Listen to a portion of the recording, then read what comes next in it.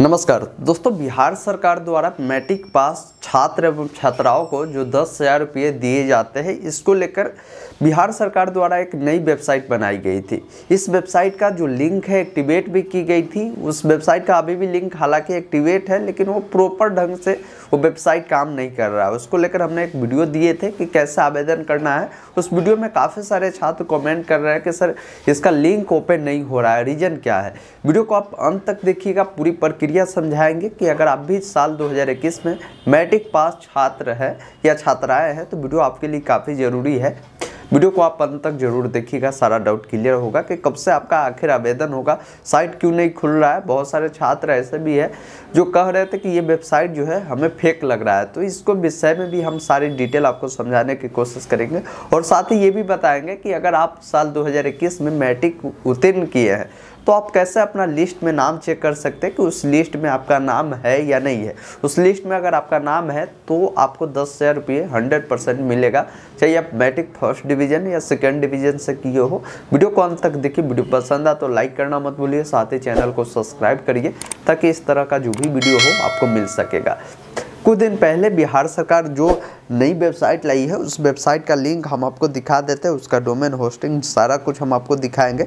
कि किस तरीके का वेबसाइट का लुक है, कैसा दिखता है। बगल में आप फुटेज देखिएगा, क्या करेंगे?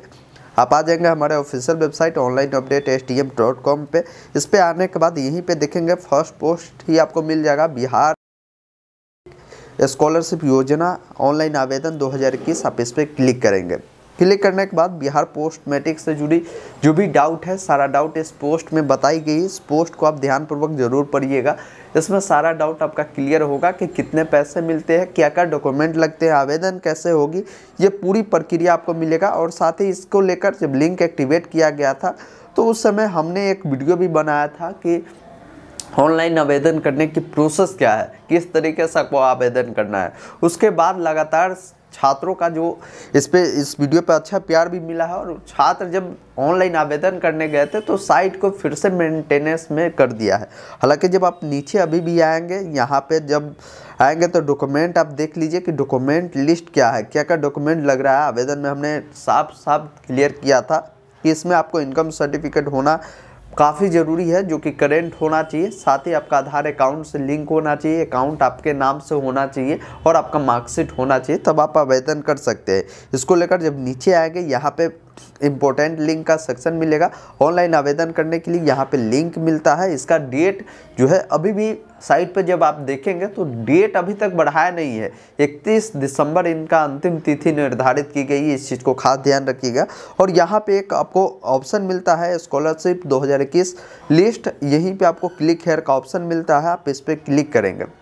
जैसे ही क्लिक करेंगे, इस प्रकार का पॉपअप आता है। अब लिस्ट भी नहीं दिखाया जा रहा है। हालाँकि कुछ देर पहले लिस्ट दिखाया जा रहा था, लेकिन अब लिस्ट भी देखने के लिए यहाँ पे बताया जा रहा है कि मेंटेनेंस में। यानी ये वेबसाइट अभी तक मेंटेनेंस में ही कर दिया गया है। यानी साइट अभी मेंटेन में है। यही से आप क्लिक करके अपना डिस्ट्रिक्ट और कॉलेज का नाम सेलेक्ट करिएगा तो आपका एक लिस्ट डाउनलोड होगा। उस लिस्ट में आप अपना नाम ज़रूर चेक करिएगा। अगर आपका नाम है तो हंड्रेड आपको इसका लाभ मिलेगा। और साथ ही यहाँ पे ऑनलाइन आवेदन करने के लिए भी लिंक लगाई गई है, आप इस पर जब क्लिक करेंगे तो इस प्रकार का वेबसाइट खुलेगा, ये भी मेंटेनेंस में है। वेबसाइट का डोमेन आप देखिएगा तो Megha soft dot B I H dot N I C dot in है।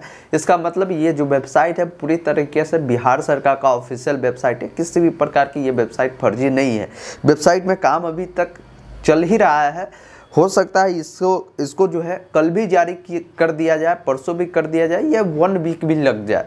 ये कहना थोड़ा सा मुश्किल है। जब यहाँ पे एक नंबर दिया गया था अधिकारी का, उससे जब बात किया गया तो वहाँ पे कोई फिक्स डेट नहीं बताया गया कि ये पोर्टल जो है कब से एक्टिवेट कर दिया जाएगा, यानी लाइव किया जाएगा सारे स्टूडेंट के लिए।